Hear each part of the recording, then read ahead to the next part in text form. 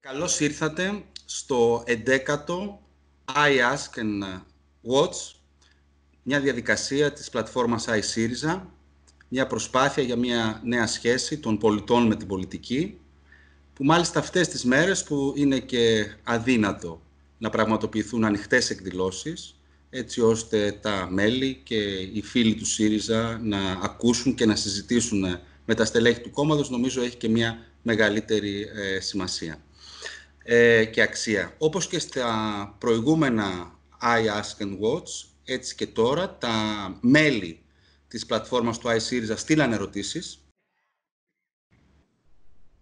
Έγινε μια διαδικασία επιλογής πάλι από τα ίδια τα μέλη της ε, πλατφόρμας και έτσι έχω μπροστά μου 10 ε, ερωτήσεις, τις οποίες θα μας απαντήσει ο Ευκλήδης Τσακαλώτος, βουλευτής του ΣΥΡΙΖΑ, τομεάρχη οικονομικών και υπουργός οικονομικών της προηγούμενης ε, κυβέρνησης. Γεια σου, Ευκλήδη. Γεια σου, Θεόφιλε. Γεια χαρά.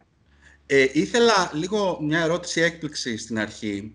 Ε, αν ήσουν σήμερα υπουργός Οικονομικών και ερχόταν ο κύριος Κυλακάκης, δεν ξέρω αν θα τον είχες ε, για υφυπουργό, και σου έφερε τα σημερινά στοιχεία από την εκτέλεση του πρώτου τετραμήνου του προπολογισμού, αν θα ήσουν ανήσυχος από το πρώτο τρίμηνο της δικής του διακυβέρνησης, εννοείς. Το 2020, ναι. Ναι, ναι. Ε, ε, κοίταξε, ε, νομίζω ότι κατά κάποιο τρόπο και σε πολλά εισαγωγικά ήταν λίγο τυχερή η κυβέρνηση.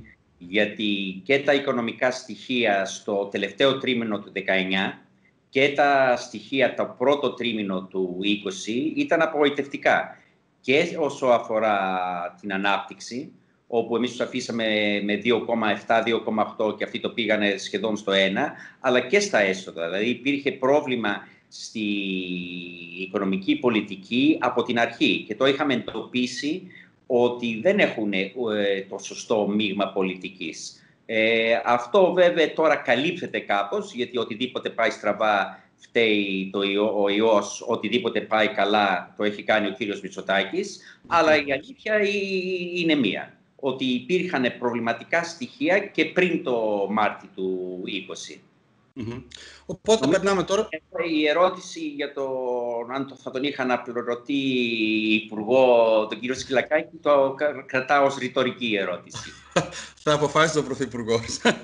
λοιπόν. ε, η πρώτη ερώτηση αφορά την ύφεση.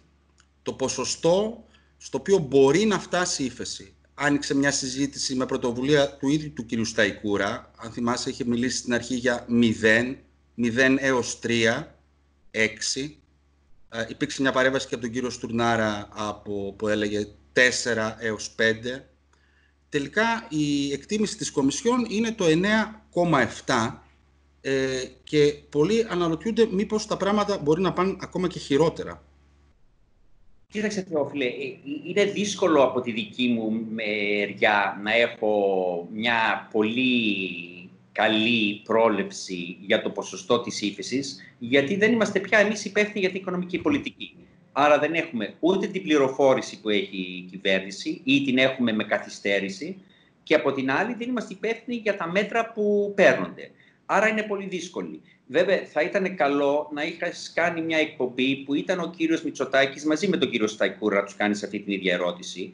Γιατί δεν, δεν είναι μόνο πρόβλημα ότι δεν συντονίζονται ανάμεσά τους, είναι ότι δεν συντονίζονται με τον εαυτό τους. Δηλαδή, ο κύριος Σταϊκούρας άρχισε με 0, πήγε στο 2, πήγε στο 4, τώρα έχει ένα δυσμενές σενάριο που φτάνει το 10 όπως λέει η Κομισιόν. Το μεγάλο ερώτημα είναι τι κάνεις να το μειώσεις αυτό το ποσοστό της ύφεσης. Τι μέτρα παίρνεις, με τι στόχους παίρνεις, για ποιους τα παίρνεις, από πού το χρηματοδοτείς. Και δεν λέω περισσότερο γι' αυτό, γιατί είναι και το αντικείμενο και άλλων ερωτήσεων ε, που έρχονται. Άρα, Ήθε... αυτή τη στιγμή ε, θεωρώ ότι θα υπάρχει μεγάλη ύφεση, θα υπεραστεί βέβαια και από την ύφεση που υπάρχει παγκοσμίως. Σου θυμίζω ότι εδώ δεν είμαστε το 2009 και 2010, Ακριβώς επηρεάσει μεγάλο κομμάτι της παγκόσμιας οικονομίας, την Κίνα για παράδειγμα. Είμαστε σε άλλο τοπίο που επηρεάζονται πάρα πολλές χώρες ε, συγχρόνως. Αυτό δημιουργεί πολλαπλασιαστικά ε, αποτελέσματα. Οπότε ανησυχώ και για το βάθος της ύφεσης, αλλά και το ίσως το πιο σημαντικό, γιατί ό,τι έγινε έγινε τώρα, ε, και για πόσο γρήγορα μπορεί να υπάρχει ανάκαμψη και αυτό εξαρτάται και από τις οικονομικές πολιτικές παρεμβάσεις της κυβέρνησης, αλλά βέβαια και υπάρχει ερώτηση γι' αυτό στα top 10 και η αντιμετώπιση της Ευρωπαϊκής Και ανησυχώ και από τις δύο πλευρές. Αυτή τη στιγμή είναι δεδομένο τουλάχιστον ότι στην κυβέρνηση πλέον συμφωνούν ότι θα έχουμε ύφεση. Αυτό το προβλέπουν και διεθνείς οργανισμοί. Το δούμε το, αν δεν κάνω λάθος, είχε μια πρόβλεψη που έφτανε μέχρι και το 15%. Ε, και εδώ τώρα αυτό το οποίο ρωτάνε οι φίλοι, ε, τα μέλη από την πλατφόρμα iSyriza, είναι πώς βλέπεις εσύ να το αντιμετωπίζει μέχρι τώρα η Νέα Δημοκρατία και τι ανοίγεται προς τα μπροστά. Δηλαδή, γνωρίζουμε ότι η ύφεση σημαίνει συγκεκριμένα πράγματα σε ό,τι αφορά ας πούμε, την ανεργία. Χθες ε, και το Ινστιτούτο Εργασίας της ΓΕΣΕ έδωσε τρεις εκδοχές. Πόσο με 6, πόσο με 10%, που στο 10% όντως πηγαίναμε σε ποσοστά πάνω από 21-22%. Ε, και ανεργία και ο φόβος ότι θα πάνε σε νέες μειώσεις για τις συντάξεις και για τους, ε, ε, και για τους ε, μισθούς. Εδώ νομίζω πρέπει να ξεχωρίσουμε το βραχυπρόθεσμο με το μεσοπρόθεσμο. Στο βραχυπρόθεσμο έχουμε μάθει από τη δική μας ε, εμπειρία ότι όταν σε μια ύφεση κάνεις αυτό που λένε οι οικονομολόγοι προκυκλικά μέτρα. Τι σημαίνει κάνεις προκυκλικά μέτρα. Έχεις ύφεση και μειώνεις τους μισθούς. Άρα εντείνεις τη, την ύφεση, μειώνεις τη συντάξη, εντείνεις την ύφεση. Γιατί, γιατί είναι προκυκλικά, γιατί εκεί που πέφτεις, ο κόσμος έχει ακόμα λιγότερα λεφτά για να ξοδέψει, να δαπανίσει, να επενδύσει σε αυτό. Αυτό είναι ένα μάθημα που το έμαθε ο ελληνικός λαός πάρα πολύ όταν ανάμεσα το 9 και το 14 μειώνεται το ΑΕΠ 25%. Δεν ξέρω αν το έχει μάθει η κυβέρνηση της Νέας Δημοκρατίας αυτό το βραχυπρόθεσμο ότι η λιτότητα δεν είναι απάντηση σε μια ύφεση. Γιατί όπως ξέρεις Θεόφιλε έχουν μια μεγαλύτερη εξειδίκευση η Νέα Δημοκρατία στο να μας βάζει σε μνημόνια από ότι να μας βγάζει σε, από μνημόνια. Αυτή την εξειδίκευση δεν την έχει αποκτήσει σε αυτό. Τώρα, το μακροπρόθεσμο που έχουμε μάθει είναι ότι για 20-30 χρόνια είχαμε πολιτικές λιτότητες. Δεν την είχαμε δηλαδή μόνο μετά την κρίση του 2009. Αυτό οδήγησε σε ανισότητες, σε χαμηλούς μισθούς, στην καλύτερη περίπτωση σε στάσιμους ε, μισθούς. Αυτό δεν βοήθησε την ανάπτυξη. Δηλαδή τα πενιχρά οικονομικά αποτελέσματα της παγκόσμιας οικονομίας και της ευρωπαϊκής οικονομίας δεν είναι μετά μόνο από το 2009, είναι τα τελευταία 20 χρόνια. Και να σου το πω πάρα πολύ απλό, ε, πολύ απλά, όταν υπάρχουν τόσοι επεσφαλώς εργαζόμενοι, τόσοι με χαμηλό μισθή, τι κάνουν επιχειρήσεις και λογικά από τη δική τους ε, πλευρά, ότι αντί να επενδύσουν σε νέες τεχνολογίες, σε νέα προϊόντα, σε νέες αγορές, εκμεταλλεύονται την ε, άφθονη ε, προσφορά χαμηλόμισθων, κακοπληρωμένων, ευέλικτων εργαζομένων.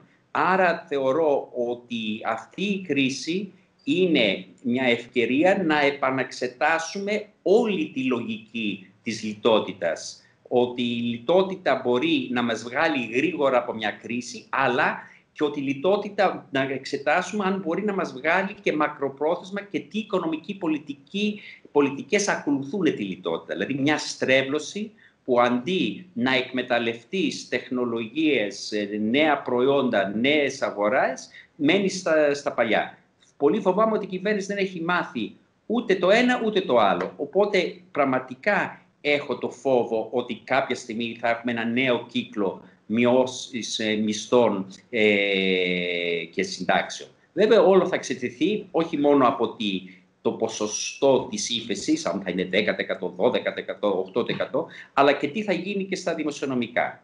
Δηλαδή ήδη βλέπω ότι φτιάχνεται ένα κλίμα ότι ωραία τώρα ήταν έκτατες οι συνθήκες στην Ευρώπη και στην Ελλάδα και άρα μπορούμε να ξοδέψουμε, αλλά κάποια στιγμή πρέπει να ξανά να μαζέψουμε τις ζώνες για να ξαναχτίσουμε τα δημοσιονομικά μας, να μειώσουμε το χρέος. Αυτό θα είναι μια μεγάλη κουβέντα, ε, μια μεγάλη συζήτηση τους επόμενους ε, μήνες και στην Ελλάδα και στην Ευρώπη. Ε, από ό,τι καταλαβαίνω από τις ερωτήσεις, υπάρχει αυτός ο φόβος έντονα, δηλαδή ότι αυτό που έρχεται θα είναι μειώσεις των μισθών. Αυτό βέβαια στον ιδιωτικό τομέα ήδη συμβαίνει. Ε, άμα με επιτρέψεις ε, ναι. τη, τη, διακοπή, η, η κυβέρνηση ήδη έχει κόψει συντάξεις. Η 13η σύνταξη, παρόλο όλη τη φιλολογία ότι δεν υπήρχε, ότι ήταν παραδική, ναι. ήταν μόνο ένα επίδομα. Ο νόμος είναι τελείως ξεκάθαρος για το 13ο, για τη 13η σύνταξη που περάσαμε, που έλεγε ότι ήταν μόνιμο μέτρο που θα δίνεται κάθε χώρο. Ήδη την κόψαμε αυτή. Ναι. Και έχουν πάρει μέτρα. Δηλαδή, για πες μου εσύ, γιατί παίρνει πίσω τις συλλογικές συμβάσεις; Γιατί δημιουργεί, το, ε, παίρνει πίσω το ΣΕΠΕ να μπορεί να εξετάζει τι γίνεται σε εργασιακές σχέσεις. Το κάνει για να, είναι πιο, να έχουν αυξη, ε, αυξητική τάση στους μισθού. Προφανώς και τα μέτρα που πήρανε τις παρεμβάσεις που κάνανε πριν από τον κορονοϊό ήταν να κρατήσουν τους μισθούς χαμηλά. Άρα, δηλαδή, ενώ η ερώτηση που βλέπω μπροστά μου έχει χρόνο μελλοντικό. Ενδεχόμενο. ενδεχόμενα, αυτό ε, εννοώ. Εγώ βλέπω ότι ήδη με τις παρεμβάσεις συντάξεις και στα εργασιακά, ήδη βασίζονται στο παλιό μοντέλο ότι η χαμηλή μισθή, η ευέλικτη εργασία ε, δημιουργεί τις συνθήκες που θέλει το κεφάλαιο για μια νέα, νέο κύμα συσσόρευσης. Μόνο που αυτές οι πολιτικές στα προηγούμενα 20 χρόνια δεν οδηγήσανε σε νέο κύμα συσσόρευση του κεφαλαίου και ανάπτυξης. Και εδώ υπάρχει βέβαια και το θέμα με τις συντάξεις, πέρα από αυτό το οποίο έγινε που όντως καταργήθηκε η 13η σύνταξη. Υπάρχει και μια ανησυχία, είχε και ένα μεγάλο θέμα τις προηγούμενες μέρες η Αυγή, ότι πάνε πάρα πολύ άσχημα τα έσοδα του ΕΦΚΑ, ε, του ενιαίου φορέα κοινωνικής, κοινωνικής ασφάλισης. Μα, δεν ξέρω αν τώρα προτρέχω και θα μου το ρωτήσεις για το, το πρόγραμμα «Μένουμε όρθιοι». Ναι, μετά. Η, η, βασική όμως λογική να παίρνεις πολλά μέρα, ε, μέτρα εμπροστοβαρός είναι ακριβώς για να μην δημιουργούν τα προβλήματα που μετά τρέχεις να τα καλύψεις. από πίσω. Να, να μην πέφτουν, να μειώνονται οι συντάξεις, να, μην, να, υπάρχουν, να έχει μισθός ο κόσμος, να μπορεί ο κόσμος να πληρώνει φόρους που έχει μισθό, να μπορεί όταν τώρα που έχει τελειώσει η απομόνωση να μπορεί να ξοδέψει ή οι μικρομεσαίες επιχειρήσεις να μπορούν να επενδύσουν. Αν δεν το κάνεις εμπροστοβαρός, τότε δημιουργούνται πολλαπλά προβλήματα και προβλήματα που είναι και πολλαπλά και συσσωρευτικά. Και τότε έχεις περισσότερα να κάνεις. Ναι. Ε, ένα από τα ζητήματα τα οποία ε, έχει απασχολήσει το τελευταίο διάστημα, ενώ μιλάμε για την περίοδο της πανδημίας, της υγειονομικής κρίσης, ήταν κάτι που το λες συχνά και εσύ για το αν μπορείς να μάθεις ή δεν μπορείς να μάθεις σε ένα γέρικο σκύλο νέα κόλπα. Και αναφέρομαι σε ένα πάρτι πραγματικά αναθέσεων ε, και το, και το Voucher Gate ήταν σε αυτή τη λογική, μια απευθείας ανάθεση σε κάποιες πλατφόρμες να κάνουν τα προγράμματα τηλεκατάρτισης και η ερώτηση είναι το αν ο ΣΥΡΙΖΑ θα επιμείνει στην ανάδειξη και στην διερεύνηση αυτών των υποθέσεων που δεν είναι τελικά μία και δύο, είναι πάρα πολλές. Από μια μεριά είμαστε σοβαροί άνθρωποι, καταλαβαίνουμε η πανδημία ήταν σοβαρότατο πρόβλημα και υπήρχαν κάποιες διαδικασίες που είναι σωστές διαδικασίες γενικώς που δεν μπορούσαν να πληρωθούν εντελώς. Δηλαδή ότι χρειαζόταν, δεν μπορούσες να περιμένεις να κάνεις μια ανάθεση για φάρμακα, για υγειονομικό υλικό, για βοήθεια σε άλλους ανθρώπους με, τους κανονικούς, ε, με τις κανονικές διαδικασίες. Το καταλαβαίνουμε αυτό. Αλλά ναι. αυτή πέρα, με αυτό που κάνει η κυβέρνηση, νομίζω υπάρχει μεγάλη απόσταση. Δηλαδή, να πω ένα παράδειγμα που δεν είναι του τομέα μου, θα πω και άλλα παράδειγμα, γιατί να υπάρχουν μυστικά κονδύλια για το μεταναστευτικό. Καταρχάς αυτό είναι μια άμεση μη δημοκρατική παρέμβαση. Ξέραμε μέχρι τώρα ότι υπάρχουν μυστικά κονδύλια στο Υπουργείο Εξωτερικών, στο Υπουργείο Αμήνης, αλλά στην κοινωνική πολιτική, στην κοινωνική πολιτική θα έχουμε τώρα μυστικά κονδύλια. Και εκεί αυτό το θέλω το πιο ακραίο ε, παράδειγμα. Αλλά εδώ έχουμε προτάσεις από το ΣΥΡΙΖΑ στη Βουλή. Ωραία, θέλετε να κάνετε ανα, ε, αναθέσεις. Καταλαβαίνουμε το κατευθείαν αναθέσεις, χωρίς να υπάρχει η Επιτροπή ε, Δημοσίων Συμβάσεων και άλλα ε, ελεκτικά όργανα που το τσεκάρουν. Θέλετε να το κάνετε, είναι σωστό να το κάνετε, το κατανοούμε. Αλλά πάτε μια δια, διακομματική ε, επιτροπή στη Βουλή, μπορεί να το, το ελέγξει. Ναι. Θέλετε να δώσετε περισσότερα λεφτά στα κανάλια, να δώσετε περισσότερο. Και εμείς είχαμε ένα σχέδιο. Mm-hmm. Για τις εφημερίδες.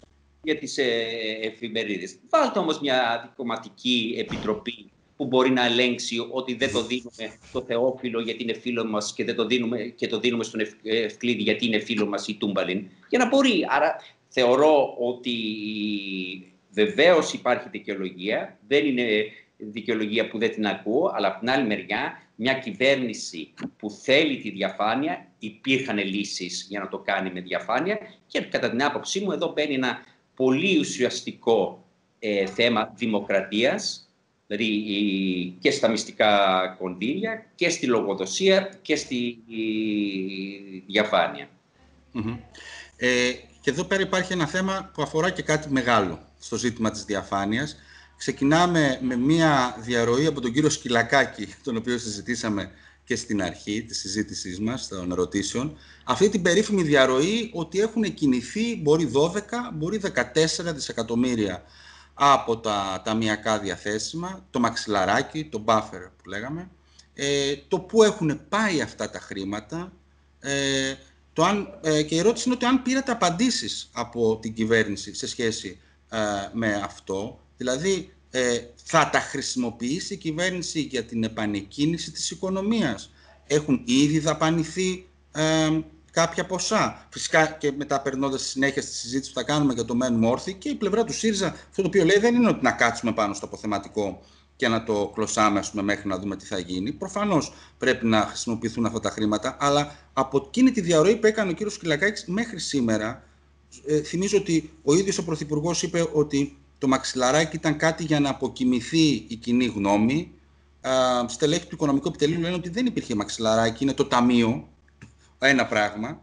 Ε, πού βρισκόμαστε σε σχέση με αυτό; Καταρχάς, ο κύριος ε, Σκυλακάκης στη Βουλή μπροστά σε όλους είπε ότι το 37, τα 37 δις δεν χρειαζόταν καθόλου. Νομίζω η έκδοση ήταν η μεγαλύτερη γκάφα που έκανε ναι, ναι. Ε, ΣΥΡΙΖΑ. Μετά είχαμε το ε, κύριος Σταϊκούρα να λέει ότι ε, το buffer είναι ένα κομμάτι και υπάρχουν, έχουμε μια οικοδομή, ένα σπίτι με τρεις ε, ορόφους.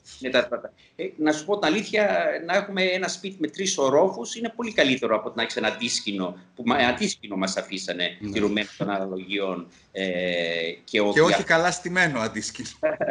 και ότι είχαμε ένα τριόροφο σπίτι, ε, ήταν η πρώτη φορά στην ιστορία του ελληνικού κράτους που έχει πάθει τέσσερις χρεοκοπίες στην ιστορία από το τέλος του 19ου αιώνα που κάποιοι πολιτικοί σκεφτήκανε ότι δεν είναι πάντα τα ρόδινα, ρόδινα τα πράγματα, δεν είναι πάντα τα νερά ήρεμα και άρα χρειάζεται αυτό. Δεν προβλέψαμε προφανώς το COVID, το ιό, αλλά προβλέψαμε ότι η παγκόσμια οικονομία θα έχει δυσκολίες εμείς έχουμε ένα μαξιλάρι, όπως και να το, ένα, από ένα ποσό που ήταν και από χρήματα του ESM, το Ευρωπαϊκό Μηχανισμό Σταθερότητας και από την υπεραπόδοση στα δημοσιονομικά και από τις εξόδους που είχαμε εμείς ε, στα, ε, στις αγορές. Και έχουμε τρεις πηγές και έχουμε τρεις ε, σκοπούς.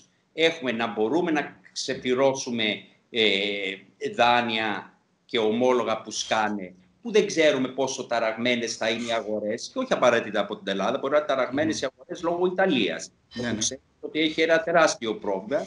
Είναι και για άμεσες ε, δαπάνες όταν χρειαστούν, που αν δεν χρειαστούν τώρα πότε, τώρα είναι που χρειάζονται, και να κάνεις κάποιες δαπάνες όταν ξέρεις ότι έρχονται λεφτά στο μέλλον και μπορείς μετά να τις κάνεις τώρα τις δαπάνες και κάποια στιγμή σε ένα-δύο μήνες που αρχίζει ο κόσμος να συνέλχεται να υπάρχουν έσοδα στο κράτος να ξαναγεμίσεις αυτό το, το μαξιλάρι. Νομίζω ότι η Νέα Δημοκρατία επειδή ε, ε, το, ε, το σήκωσε τόσο πολύ το μαξιλάρι ότι ήταν μεγαλύτερη γκάφα, ότι δεν κάναμε τίποτα, δεν βγήκαμε από το μνημόνιο.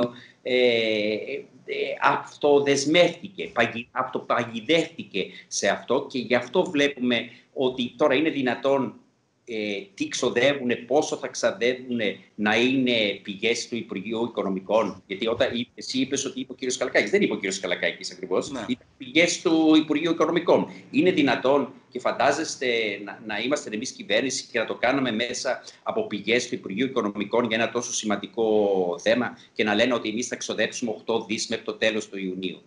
Το βασικό πρόβλημα που έχουμε τώρα είναι να ξοδέψεις ένα κομμάτι από το τριόροφη, και δέχομαι εγώ τη τριόροφη ανάλυση του κύριου ε, Σταϊκούρα, να, να ξοδέψεις, να ξέρεις που να ξοδέψεις, να μην τα λες λίγα-λίγα, γιατί αν τα λες λίγα-λίγα και τα ξοδεύεις λίγα-λίγα, αυτό που θα γίνει είναι ότι θα ξοδεύεις σε τρέχουσες ανάγκες του κράτους, θα το εξαντλήσεις στο μαξιλάρι με τρέχουσες ανάγκες ε, του κράτους και δεν θα μπορείς να κάνεις τις σημαντικές δαπάνες.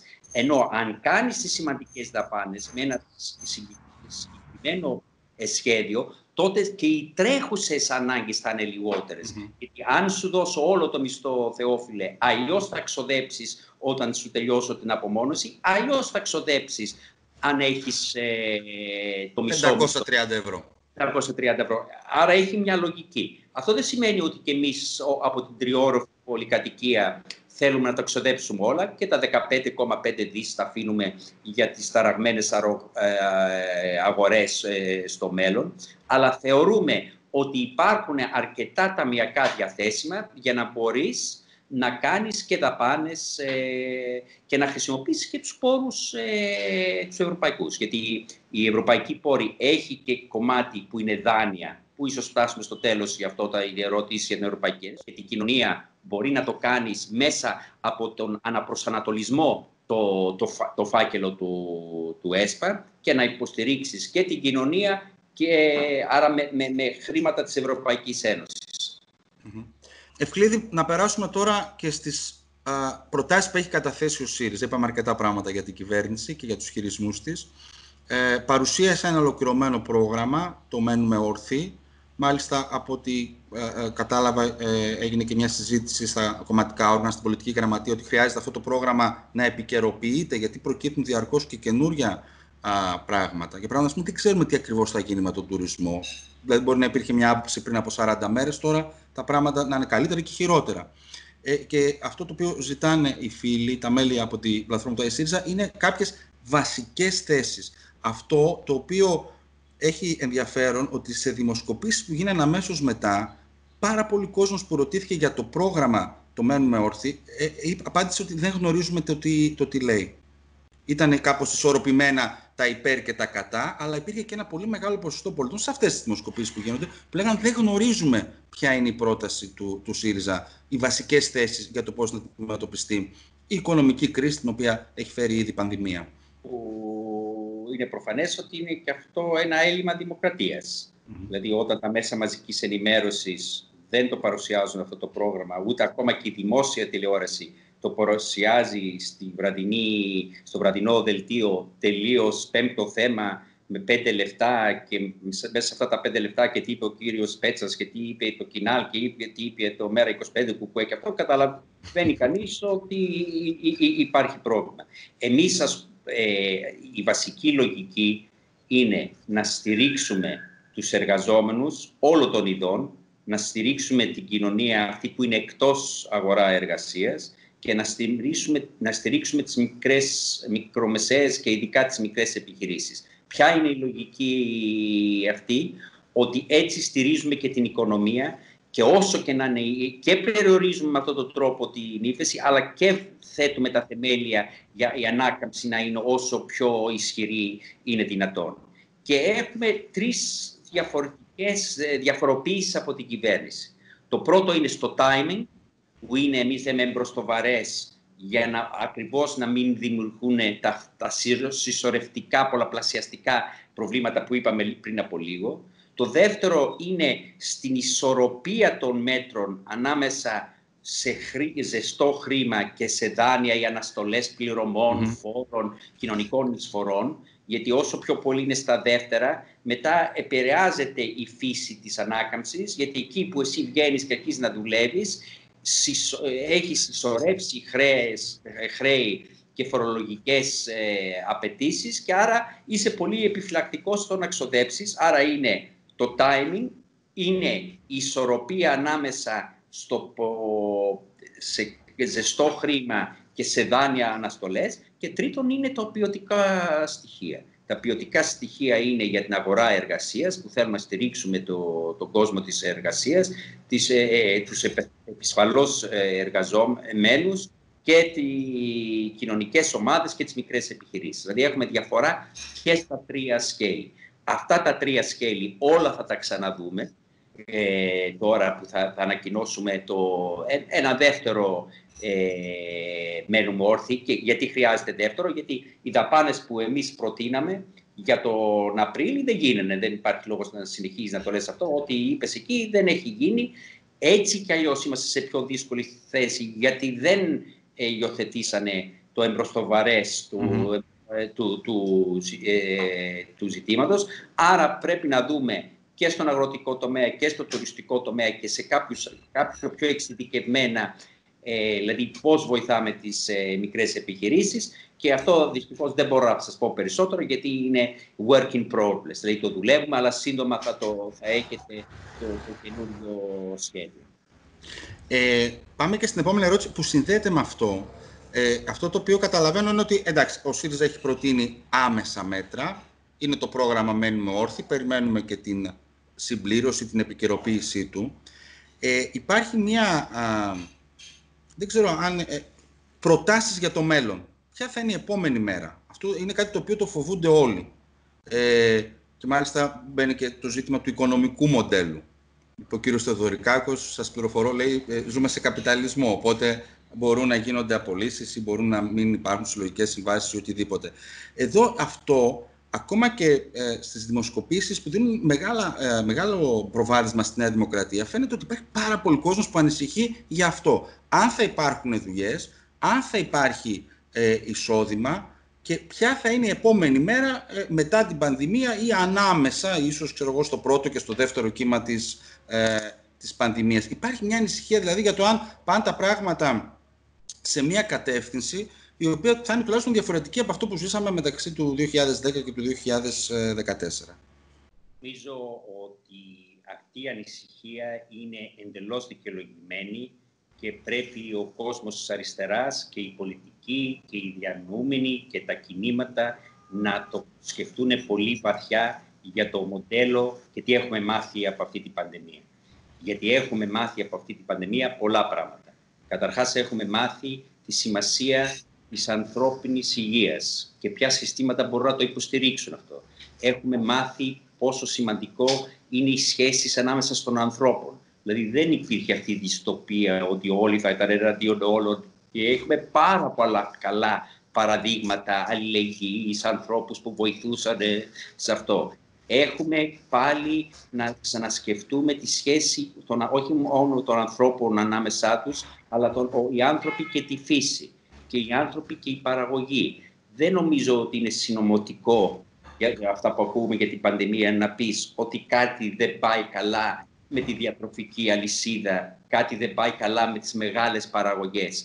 Άρα πρέπει τις μεγάλες παραγωγικές δυνάμεις και ο τρόπος που διακινείται η διατροφική αλυσίδα. Άρα μπαίνουν πολύ σημαντικά ζητήματα. Και για την οικονομική κρίση, και για την υγειονομική κρίση, και για την κλιματική κρίση για το περιβάλλον. Ε, πρέπει να σου πω, όταν άκουσα την ομιλία του κυρίου Μητσοτάκη στη Βουλή για το νομοσχέδιο για το περιβάλλον, που είπε τη φράση «Εμείς θέλουμε να ενσωματώσουμε την οικονομία, το περιβάλλον στην οικονομία», ε, πάγωσα. Με, με έπιασε κρύος υδρότας. Δηλαδή δεν έχει καταλάβει απολύτως τίποτα. Δηλαδή αυτό έχει καταλάβει από την κλιματική κρίση, ότι πρέπει να ενσωματώσουμε το περιβάλλον στην οικονομία και όχι να, να, να σκεφτούμε out of the box ε, που θα μπορούσαμε να πούμε για πώς πρέπει να έχουμε άλλη, μια, άλλη σχέση με το περιβάλλον και πώς η περιβαλλοντική πολιτική έχει μια αυτονομία και δεν είναι μόνο να παίρνουμε υπόψη το περιβάλλον. Πραγματικά χρειάζεται πολύ μεγάλη σκέψη, χρειάζεται πολύ μεγάλη σκέψη για τη σχέση ανάμεσα ιδιωτικού, κοινωνικού και δημόσιου τομέα στην παραγωγή αυτό βλέπω το μέγεθος των παραγωγικών ε, δυνάμεων. Αλλά θα μου επιτρέψεις, γιατί μιλάμε στον κόσμο του ΣΥΡΙΖΑ, που νομίζω θα θέλει να ακούσει και είναι σωστά να ακούσει, ότι δεν είναι τεχνοκρατικά αυτά τα ζητήματα. Δεν μπορεί αυτό να, να, να πάει σε ένα διαφορετικό παραγωγικό μοντέλο χωρίς ένα ριζοσπαστικό ε, ε, ε, μετασχηματισμό της δύναμης ανάμεσα στο κεφάλαιο και στην εργασία. Δηλαδή αυτό ένα καινούριο μοντέλο με διαφορετική παραγωγή, με διαφορετικούς κοινωνικούς φορείς που θα είναι υπεύθυνοι για τους φορείς, δεν μπορεί να γίνει με την ε, ισορροπία δύναμης που υπάρχει αυτή τη στιγμή. Άρα το πρόγραμμα του ΣΥΡΙΖΑ και της Ευρωπαϊκής Αριστεράς, και λέω και της Ευρωπαϊκής και των σοσιο... Ε, συζητήσεις με τους σοσιαλδημοκράτες που φεύγουν από τη λογική του νεοφιλελευθερισμού και τους πράσινους, να βασίζεται σε νέες ιδέες για πώς μπορεί νέο παραγωγικό μοντέλο, αλλά συγχρόνως πρέπει να είναι εντελώς κατανοητό, αυτό όμως είναι και θέμα μετασχηματισμού, mm-hmm. Δύναμης ανάμεσα στο κεφάλαιο και Σε σχέση, περιμένοντας ίσως και την αλλαγή του συσχετισμού της, της δύναμης, ώστε να δούμε και ένα άλλο μοντέλο, υπάρχουν κάποια ζητήματα τα οποία είναι βασικά και αφορούν το τώρα.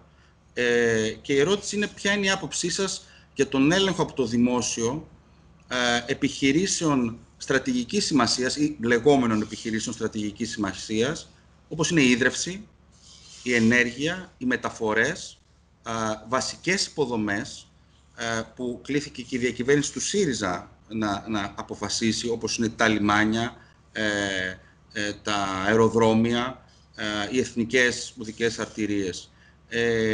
Υπάρχουν κάποια ζητήματα που προκύπτουν σήμερα. Το τι θα κάνει, για παράδειγμα, η Νέα Δημοκρατία με τις εταιρείες ίδρυυση και αποχέτευσης, τι θα κάνει με τη ΔΕΗ, με τον ΑΔΜΙΕ. Και υπάρχει και ένα θέμα που αφορά την δική σας εμπειρία από την περίοδο δηλαδή της διακυβέρνησης του ΣΥΡΙΖΑ, όπου όντως ο ΣΥΡΙΖΑ, έχοντας βρει αυτό το κακοστημένο αντίσκηνο, βρήκε και κάποιες συμφωνίες που αφορούσαν, για παράδειγμα, τα αεροδρόμια και ε, τη συμφωνία της προηγούμενης κυβέρνησης, της κυβέρνησης Σαμαρά, ε, με την ε, Φράπορ. Νομίζω ότι υπάρχει το έδαφος, το έδαφος να τα επαναξετάσουμε πολλά από αυτά. Δηλαδή, μετά από 20-30 χρόνια νεοφιλελευθερισμού, ε, συγγνώμη, ε, υπάρχει πάρα πολλοί κόσμος, πολιτικοί διανοούμενοι που ξανασκέπτονται. Δηλαδή, ε, ε ξέρεις ότι έχω μεγαλώσει στη Βρετανία, δηλαδή η δυτικοποίηση των τρένων ήταν αστεία η υπόθεση στα τρένα. Δηλαδή, δηλαδή αυξηθήκανε φοβερά οι τιμές και η ποιότητα των υπηρεσιών ήταν καταστροφική ε, για τους ε, ανθρώπους που το χρησιμοποιούσαν ε, το δίκτυο των τρένων. Δηλαδή παντού βλέπουμε και για το νερό στη Γαλλία και πριν από την κρίση. Δηλαδή είχαμε 20 χρόνια απαξίωσης ε, του δημόσιου. Εγώ δεν ξέρω κάποιον που το έχει απαξιώσει περισσότερο από τον Στέφανο Μάνο που τώρα μας είπε και ακόμα και αυτός ότι αισθάνεται ότι το κράτος καλά κάνει και έχει κάποιο ρόλο για την υγεία. Είναι εξαιρετικά σημαντικό η υγεία, η υγεία. είναι εξαιρετικά σημαντικό και να λέμε κάτι εμείς οι ΣΥΡΙΖΕΙ. Δηλαδή, όταν εμείς στο προπολογισμό του 2019 για το 20 λέγαμε ότι εντάξει, θα έχουμε δημοσιονομικό χώρο.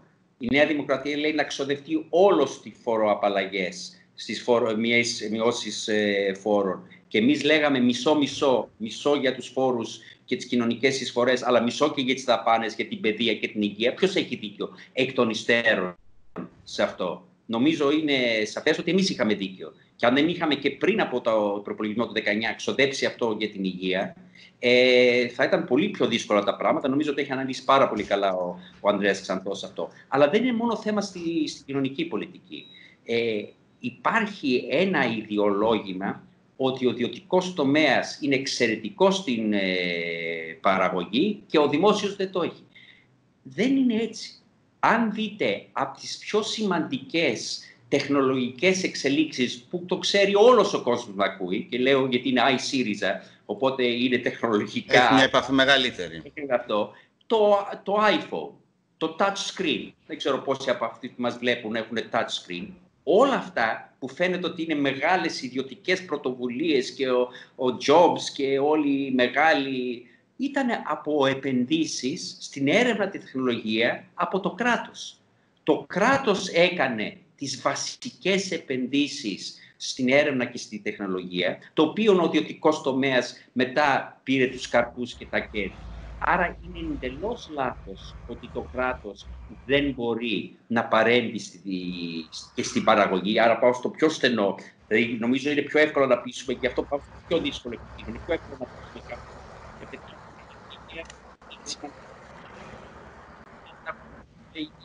και όχι αυτά που μας έλεγε η Νέα Δημοκρατία για να τους ε, βάλουμε και τους ιδιώτες μέσα στα νοσοκομεία. Αλλά και το σκληρό πυρήνα της παραγωγής πρέπει να το επαναξετάσουμε ότι χρειάζεται ο, ε, ο δημόσιος τομέας, δεν ανάγκη να είναι το κράτος με τη στενή έννοια, Δηλαδή, όταν εμείς κάναμε για τις ενεργειακές κοινότητες που ήθελαν να ανοίξουμε το παιχνίδι της ενέργειας, το θεωρούμε αυτό μπορεί να γίνει και στο, στο, στο επίπεδο της τοπικής αυτοδιοίκησης. Και δεν είναι ούτε καν μόνο στην παραγωγική οικονομία. Ακούω τώρα όλη αυτή τη συζήτηση για το δημόσιους χώρους που κατηγορούν στην Κυψέλη, μαζεύονται ο κόσμος και είναι επικίνδυνο. Μήπως κάναμε τα τελευταία 30-40 χρόνια και πριν από το, τη Χούντα ε, είχαμε μέρημνα για δημόσιους χώρους για να μπορεί ο κόσμος να μαζεύεται χωρίς να υπάρχει ο συναισθησμό. Δηλαδή, όταν λέγαμε εμείς ότι οι πόλεις πρέπει να είναι διαφορετικά σχεδιασμένες, πρέπει να υπάρχει σχεδιασμό, πρέπει να προβλέπει το δημόσιο χώρο, αυτό δεν είναι μια άλλη άποψη για το δημόσιο και το δημόσιο χώρο. Άρα λέω ότι το, το, ο βασικός κορμός του προγράμματος του ΣΥΡΙΖΑ, που είναι όπως το είπες εσύ στην αρχή, άλλο το μένουμε όρθιο, όρθιοι, τι πρέπει να κάνουμε τώρα για να μειώσουμε την κρίση και να είναι πιο εύκολο να φύγουμε από αυτή την κρίση γρήγορα και άλλο το καινούργιο παραγωγικό μοντέλο που θέλει πολύ μεγάλη σκέψη και για το κοινωνικό κράτος και για, τη, για τους δημόσιους χώρους, αλλά και την παρέμβαση του κράτους μέσα από τα δίκτυα, μέσα από τον συντονισμό, μέσα από τη, το σχεδιασμο Και εδώ έχει και μια σημασία ότι ε, και το νομοσχέδιο ας πούμε, του κυρίου Χατζηδάκη, ας πούμε το περιβαλλοντολογικό, ε, ήταν ένα πακέτο το οποίο περιλάμβανε και μεγάλες ε, ε, πρωτοβουλίες στην κατεύθυνση της ιδιωτικοποίησης ε, στον χώρο της ενέργειας. Και συνδέεται φυσικά και με το θέμα του περιβάλλοντος, με αυτή την πράσινη πολιτική της κυβέρνησης Μητσοτάκη για την απολιγνητοποίηση στη Δυτική Μακεδονία, η οποία όμως θα, ε, υποτίθεται θα έρθει στη θέση της το μεγάλο βιομηχανικό πάρκο με τις ανανεώσιμες πηγές ενέργειας και ήδη υπάρχουν και πάρα πολλές αντιδράσεις σε όλη την Ελλάδα για αυτές τις, ε, ε, τις καταστάσεις. Φαίνεται δηλαδή ότι, και εδώ ε, είναι λίγο παρένθετη ερώτηση, ότι ενώ στην αριστερά γίνεται ακόμα μία συζήτηση, η άλλη πλευρά είναι πολύ έτοιμη να προχωρήσει στο δικό του σχέδιο, ανεξάρτητα με το αν υπάρχει πανδημία, το αν βγήκαν κάποια συμπεράσματα για τον ρόλο του ΕΣΥ, το τι θα συνέβαινε σήμερα, για παράδειγμα, αν η Νέα Δημοκρατία είχε ένα χρόνο μπροστά της και είχε κάνει σδίτη τα νοσοκομεία, αυτό το σχέδιο του κυρίου Κικία, το οποίο τελικά ευτυχώς δεν προχώρησε λόγω της πανδημίας. Φαίνεται η άλλη πλευρά, και θα προχωρήσουμε μετά λίγο στις ερωτήσεις για τη μεγάλη εικόνα, να κινείται ευκλήδη με ένα πιο γρήγορο ρυθμό. Ε, αν το μόνο που σε ενδιαφέρει είναι να βγάλεις εμπόδια από τους επενδυτές, παρένθεση τους δικούς σου φίλους που περιμένουν τόσο πώς και πώς να έρθει εσύ για να μπορείς να κάνεις επένδυση, είναι πιο εύκολη δουλειά. Αλλά ε, αυτό το μοντέλο που το έχουμε 30 χρόνια δημιούργησε δημόσιους χώρους, δημιούργησε επενδυτικό κλίμα, δημιούργησε ε, ισορροπία στην ανάπτυξη ανάμεσα τη Βόρεια Ελλάδα και, τη, και την Αθήνα.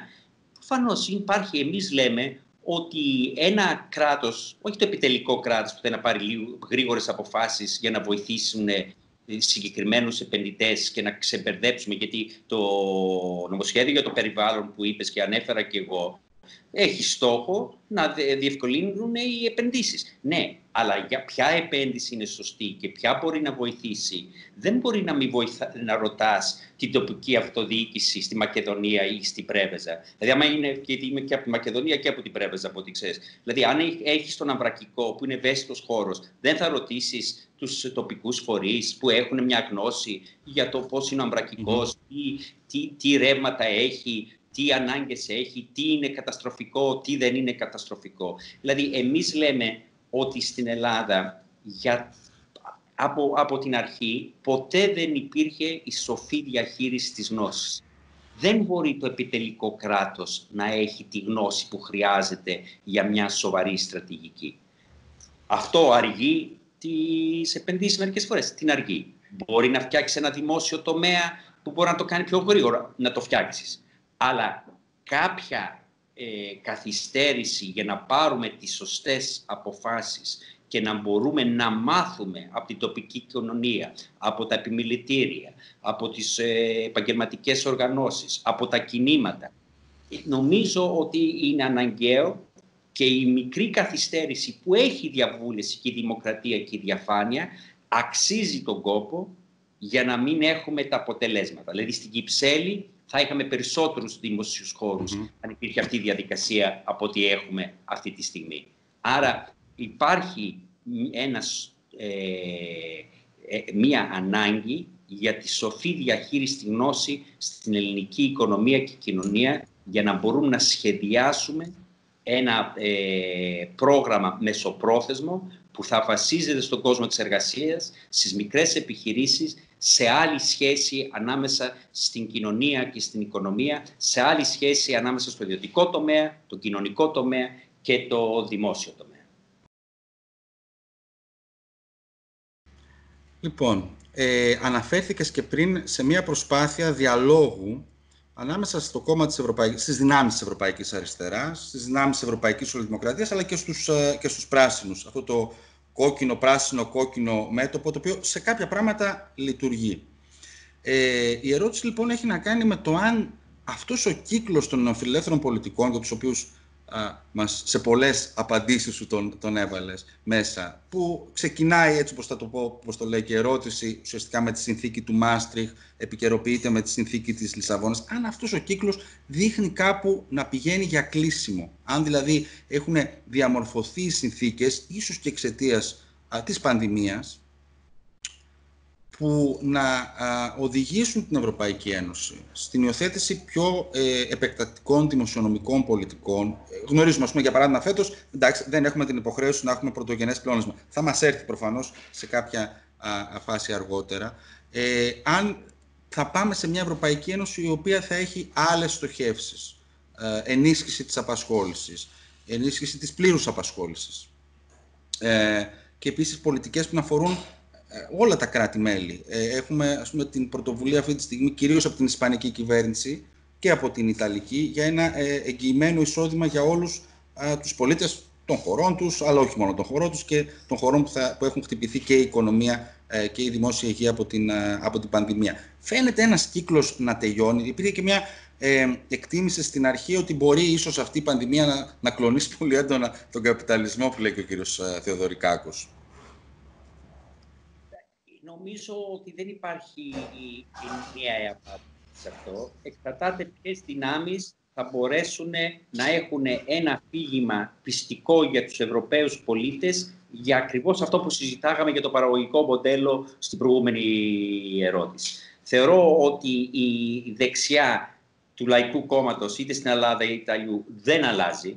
Δηλαδή, εγώ τώρα ταλαιπωρούμε εδώ και τρεις μήνες με ένα ε, σύνδρομο πρόσκληση στο, στο νόμο. Δηλαδή το πάω, δεν είναι παγωμένο το νόμο, δηλαδή ε, και, και, δεν πάει άλλο, κολλάει και μετά ξεκολλάει. Νομίζω δηλαδή οι δεξιοί έχουν ένα σύνδρομο πρόσκληση. Δηλαδή κολλάνε και πρέπει να πούνε κάτι για το κράτος, κάτι για την υγεία, αλλά γρήγορα ξεκολλάνε και πάνε στο κλίμα του νεοφιλελευθερισμού. Άρα από εκεί δεν μπορούμε να περιμένουμε πολλά πράγματα. Αλλά νομίζω ότι πρέ... γι' αυτό βάζω το κόκκινο κόκκινο πράσινο, βάζω υπάρχουν αυτές οι δυνάμεις που μπορούν να βασιστούν σε μια, ένα άλλο σύλληψη για το δημόσιο τομέα, την παρέμβασή τους στην πραγματική οικονομία, για το ρόλο των μισθών, ότι οι χαμηλοί μισθοί δεν βοηθάνε τις επενδύσεις, όλα αυτά που είπαμε πριν. Και εκεί είναι θέμα, δεν είναι νομοτέλεια αυτό, αυτό είναι πολιτική. Δηλαδή η πολιτική δεν είναι τι θα γίνει, να κάθομαι εγώ και να λέω τι, θα, τι υποψιάζουμε, θα κάνουν. Mm-hmm. φαντάζομαι οι, δεξιές, οι δεξιές, ε, η, η, βασική τάξη, τάση των δεξιών δυνάμεων είναι να πούνε κάτι για κεντζιανισμό μέχρι να ξεφύγουμε από την ε, κρίση και μετά να πούνε τώρα παιδιά πρέπει να ξαναρχίσουμε τα δημοσιονομικά μας, να μειώσουμε το χρέος κτλ. Ε, είναι θέμα πολιτικής παρέμβασης και ειδικά για το ΣΥΡΙΖΑ που έχει ένα κύρος στην Ευρωπαϊκή Αριστερά που το έχει χτίσει, να έχει μια στρατηγική, μια συζήτηση, μια παρέμβαση ότι όλα αυτά που έχουμε πει για άλλη σχέση της οικονομίας με την κοινωνία, για την παραγωγή, για το κοινωνικό κράτος και τους μισθούς, να γίνει ε, πολιτική. Και αυτό θέλει και ιδεολογική αντιπαράθεση, θέλει και παραγωγικό ε, και προγραμματικό λόγο που να είναι πιστικός. Άρα δεν το θεωρώ νομοτελή. Η, απάντηση ε, σε αυτή την ερώτηση, έτσι όπως την έγραψε ε, ο, αυτός που μας ρώτησε, είναι ότι δεν υπάρχει νομοτέλεια σε αυτό. Το good news ε, σε αυτό είναι ότι οι μεγάλες κρίσεις ε, συνήθως οδηγούν σε, αλλαγή το μοντέλο. Αυτό ίσχυε στο 29, ναι. αυτό ίσχυε το 74 και εγώ με έναν συμπολίτη σου, τον Χρήστο το Λάσκο, είχαμε γράψει ένα βιβλίο μετά από την κρίση το 2009 που λεγόταν «Χωρίς επιστροφή». Και γιατί λεγόταν «Χωρίς επιστροφή» γιατί δεν πιστεύαμε και νομίζω ότι δεν πιστεύω ακόμα ότι ό,τι και να βγει τα επόμενα 10 χρόνια θα είναι επιστροφή στον νεοφιλελευθερισμό όπως τον ξέραμε. Μπορεί να είναι κάτι πρώτο, να είναι ένα αυταρχισμός.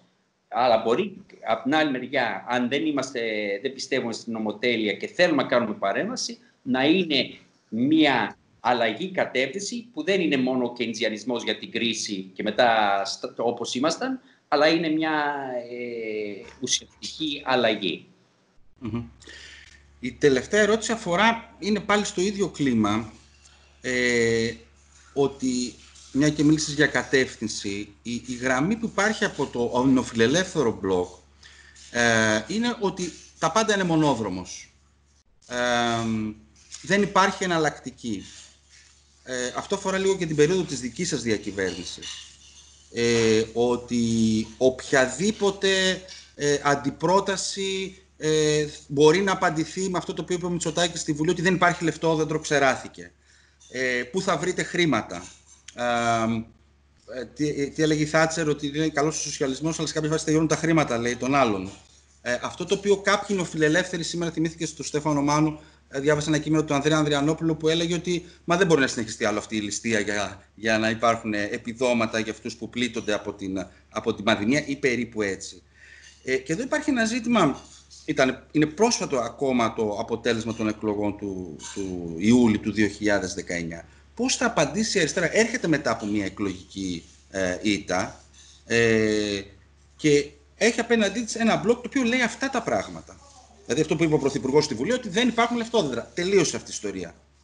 Ε, εγώ δεν δέχομαι ε, μία παραδοχή στην ερώτησή σου.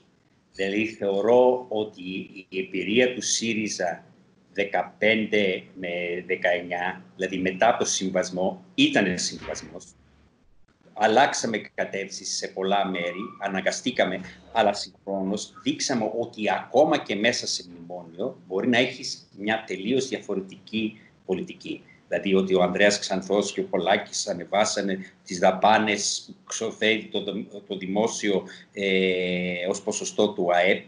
Δεν ήταν νομοτέλεια και ό,τι προσπαθήσαμε να κάνουμε το ΣΕΠΕ να μπορεί να εξετάζει τι γίνεται στους εργασιακούς χώρους, ότι κάναμε για, το, για πρώτη φορά στην Ελλάδα μια πολιτική για το παιδί και πολλά άλλα που τώρα ξυλώνει η κυβέρνηση σε σχέση με τους δασικούς χάρτες και να υπάρχει μια διαφάνεια για, τον, για το επενδυτικό κλίμα, γιατί υποτίθεται εμείς δεν είμαστε υπέρ της επενδύσεις, αυτοί όμως θέλουν να δημιουργήσουν πάλι χάος επενδύσεις που, που μπορεί είναι καλλιεργήσιμη γη, που είναι τουριστική γη, που είναι βιο, βιομηχανική γη, που είναι και τουριστική. Θέλουν να δημιουργήσουν, γιατί, γιατί θέλουν να το δημιουργήσουν το χάος, γιατί μετά χρειάζεται το μέσον για να μπορείς να ξέρεις αν μπορεί να επενδύσεις εδώ. Δεν ήταν το πελετειακό κράτος, μην το μπερδέψουμε ότι ήταν αναποτελεσματικό. Ήταν αποτελεσματικότατο για τους ε, κυβερνώντες που ξέρουν ότι ο κόσμος τους χρειάζεται το δικό, τη δική τους πολιτική παρέμβαση για να λύσει ένα πρόβλημα. Άρα δεν δέχουμε ακριβώς την παραδοχή.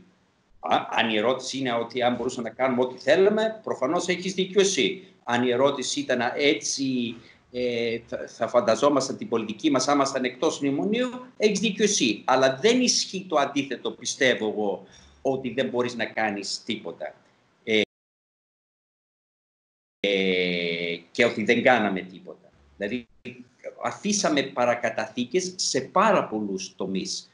και στο κοινωνικό κράτος και στη τοπική αυτοδιοίκηση με το φιλόδημο και στο, στη, στις ενεργειακές ε, ε, κοινότητες και στα εργασιακά. Εγώ θεωρώ ότι ο ΣΥΡΙΖΑ και η αριστερά πρέπει να έχουν μια μεικτή στρατηγική. Πρέπει να επιμένουν για αλλαγή συσχετισμών στην Ευρώπη. Τεράστιο πρόβλημα των χωρών του Νότου για το χρέος. Θα είναι και η Ιταλία και η Ισπανία και κάπως θα πρέπει να λυθεί αυτό. Άρα πρέπει να επιμένουμε.